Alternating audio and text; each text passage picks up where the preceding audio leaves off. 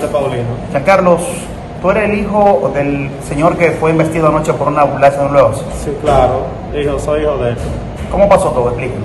Pues sí, él venía de su trabajo, por su día bien, y entonces viene una, una ambulancia y la atropella. Y entonces duran demasiado tiempo para poder llevarlo allá al hospital. Y fui allá hoy al 911 y no me dieron ninguna respuesta sobre ese caso. ¿Eso ocurrió dónde? Eh, la, la calle Carmen, ahí frente a la mulería. Yo tengo video y todo de eso. ¿Qué le han dicho entonces ellos? Lo de 911. Ah, no me da respuesta y yo le, le tiro y todo y no me da respuesta.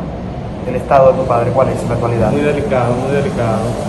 Lo están por mover a con, pero lo tratan de tenerlo estable porque no, no pueden sacarlo.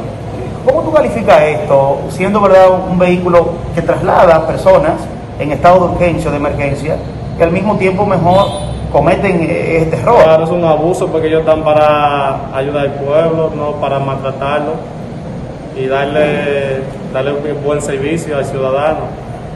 Eh, El accidente ocurrió de manera temeraria. ¿Cómo era tu padre? ¿Qué versión ustedes tienen de lo ocurrido? De lo ocurrido. Sí. Ah, Dios, mi papá me iba por su vía bien, fueron ellos que se metieron a, a- a la ciega. Y ahí hay un letrero que incluso dice pare, para que, que el conductor siga, que no, ¿sabes? Me estaba diciendo así. ¿Qué esperan ustedes entonces y qué le piden a las autoridades? Eh, que sea responsable a su hecho, a lo que hicieron, que dé la cara. Como Que no fue un animal que ellos, que ellos atropellaron para dejarlo así, por así, no, y no, y no dar respuesta.